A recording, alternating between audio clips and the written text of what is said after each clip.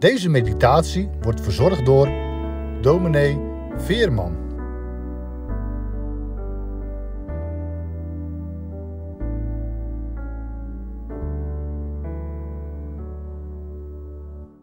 Beste luisteraars, we lezen met elkaar uit Lucas 5 vanaf het 33ste vers.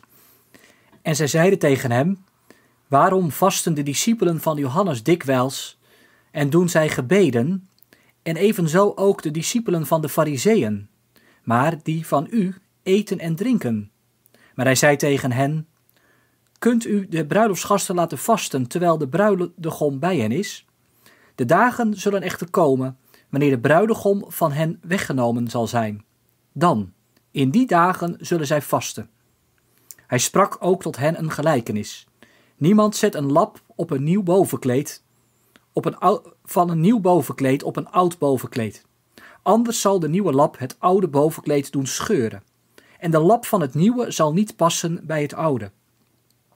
En niemand doet nieuwe wijn in oude leren zakken. Anders zal de nieuwe wijn de zakken doen barsten. En de wijn zelf zal eruit stromen. En de zakken zullen verloren gaan.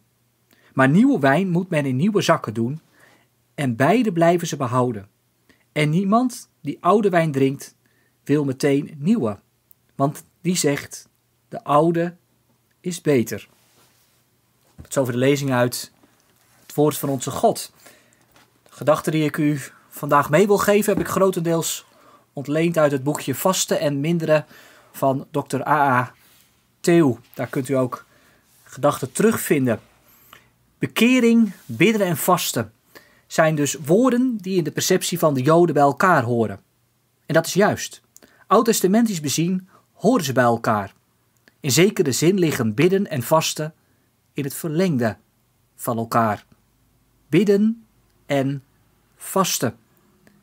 In de tijd dat Heer Jezus op aarde is, bestaat er bij de schriftgeleerden en fariseërs een traditie om twee keer per week te vasten.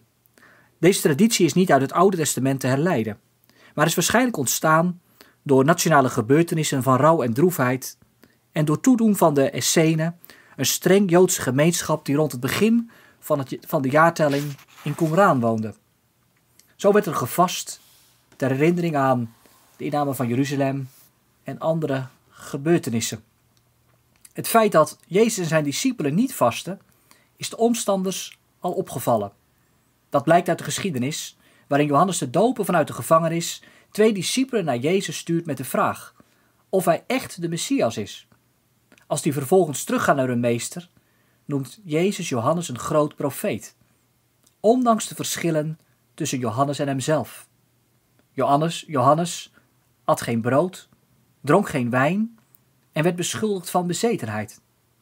De heer Jezus daarentegen at wel brood, dronk wel wijn en ze noemden hem een vraatzuchtig mens en een wijnzuiper. Deze woorden onderstrepen dat Jezus en zijn discipelen gewoon eten en drinken en dus niet vasten. En nu komt de vraag: waarom doen ze dat niet? Nou, Jezus geeft het volgende antwoord: De bruiloftsgasten vasten als de bruidegom bij hen is. De bruidegom is nu aanwezig. En omdat hij er is, is het bruiloftsfeest aan de gang. Bij zo'n feest passen geen droefheid en rouw, geen vasten en wenen. Wat is vasten ook alweer? Het is een uiting van boete en rouw. Het is een woordeloze bede om ontferming. Het is een onuitgesproken gebed of God in genade aan zijn volk wil gedenken. Maar nu Christus is gekomen, heeft God gedacht aan zijn genade en heeft zijn trouw aan Israël nooit gekrenkt. Gods ontferming is in zijn zoon werkelijkheid geworden. Vandaar de naam Immanuel. God met ons. Daar past geen vasten bij. Iemand die dan toch vast, miskent dat de bruidegom gekomen is. Om dit te beklemtonen vertelt de Heer Jezus twee korte gelijkenissen. De eerste gelijkenis over het gescheurde oude kleed en de tweede gelijkenis over de nieuwe wijn. De eerste gelijkenis sluit Jezus aan bij een gewoonte die iedere huisvrouw of stofbewerker in Israël praktiseerde. Niemand zet een lap van een nieuw bovenkleed op een oud bovenkleed. Voor de duidelijkheid, Kleding was in die dagen zeer waardevol. En veel mensen hadden niet meer dan een enkele rok. Daar was je zuinig op. Jezus weet dat en geeft aan wat iedereen doet.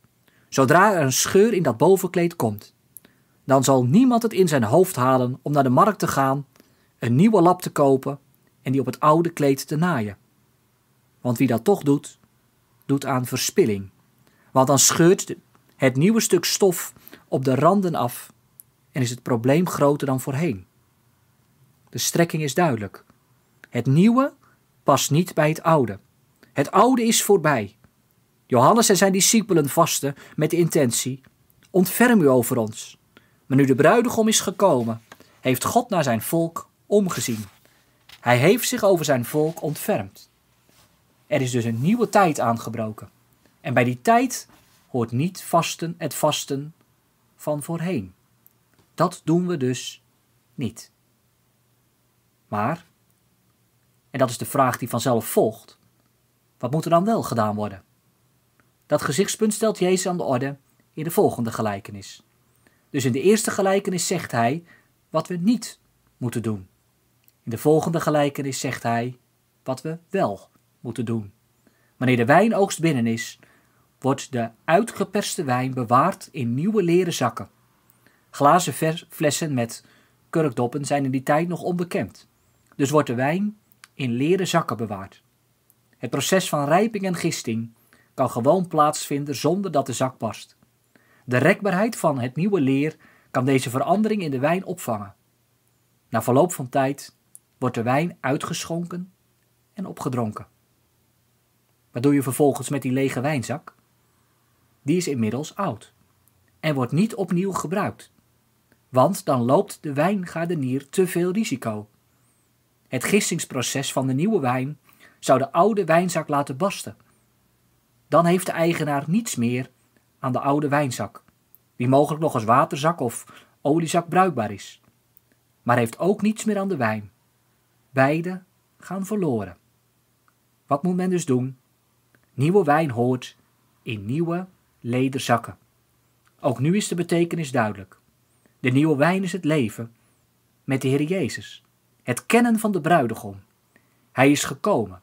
De nieuwe lederzakken staan voor een nieuwe manier van leven, namelijk dicht bij de Heer, dicht bij de bruidegom.